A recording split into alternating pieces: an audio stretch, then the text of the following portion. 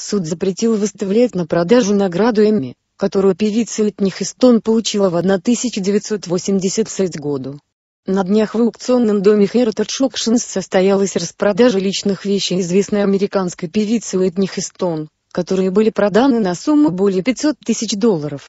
В аукционном доме сообщили, что за 20 тысяч долларов была реализована пара кроссовок Nike Air Jordan, которую Уитни подарил известный баскетболист Майкл Джордан. Меховая шуба Dolce Gabbana ушла с молотка за 16 тысяч долларов. Также на аукционе реализованы другие вещи артистки, которые принадлежали Уитни.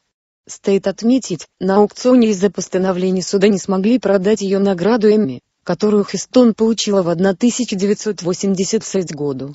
Трофей вернули в семью певицы.